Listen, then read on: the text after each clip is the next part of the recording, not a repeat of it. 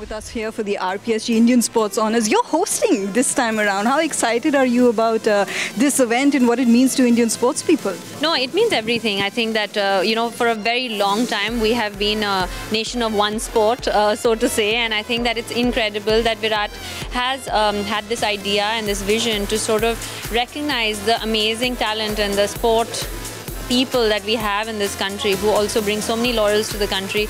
Um, you know, it's a celebration of sport, it's a celebration of our nation, and uh, I couldn't be happier.